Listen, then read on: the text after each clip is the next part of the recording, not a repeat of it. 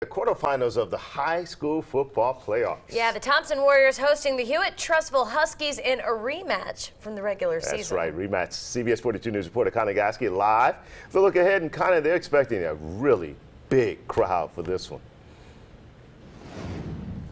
Yeah, guys, it should be a packed house here for this big time matchup here at Thompson High School. Of course, anytime you have a big game, that opens the possibility for big traffic. School leaders know that is possible and say they've got plans in place to accommodate that. They've had a lot of traffic here at times this year.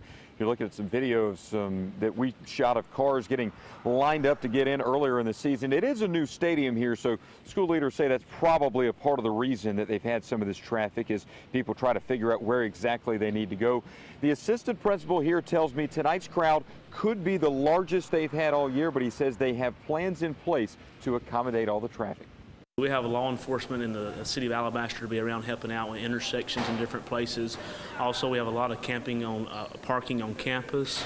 Probably have uh, about 2,500 parking spaces. But once that does fill up, we have alternative plans that we're able to act on.